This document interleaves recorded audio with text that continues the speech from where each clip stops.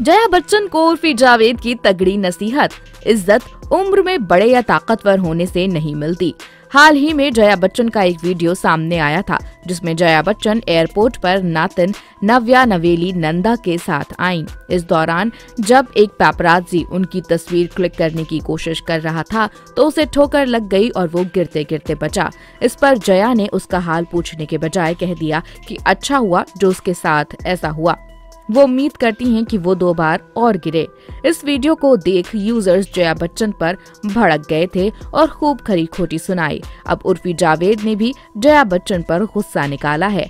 उर्फी जावेद ने लोगों से कहा है कि वो जया बच्चन जैसे कभी ना बने और साथ ही एक्ट्रेस को एक नसीहत भी दे दी।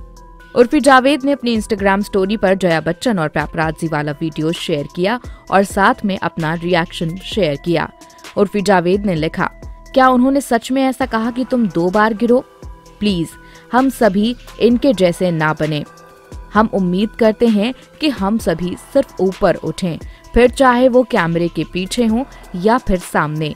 लोग आपकी सिर्फ़ इसलिए इज़्ज़त नहीं करेंगे क्योंकि आप उम्र में बड़े हैं या ज़्यादा ताकतवर हैं, बल्कि लोग तभी आपकी इज़्ज़त करेंगे जब आप उनके प्रति अच्छे रहेंगे।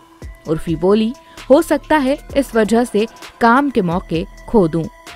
उर्फी जावेद ने एक और नोट लिखा कि वो ज़्यादातर मामलों में अपनी राय पब्लिकली रखने से बचती हैं, पर वो खुद पर काबू नहीं रख पाती। इसलिए जहाँ और जब उन्हें ज़रूरी लगता है तो वो अपने विचार रखती हैं। उन्होंने लिखा, मेरा विश्वास कीजिए कि मुझे विचार रखने से नफरत है, लेकिन मैं अपने मुँह को कंट्रोल नहीं कर पाती। मैं जानती हूँ कि मैं इस तरह काम के मिलने वाले मौकों को गवा रही हूँ। वहीं उर्फी जावेद जब भी कहीं नज़र आती हैं तो वो पैपराजी के साथ अच्छे से पेश आती हैं।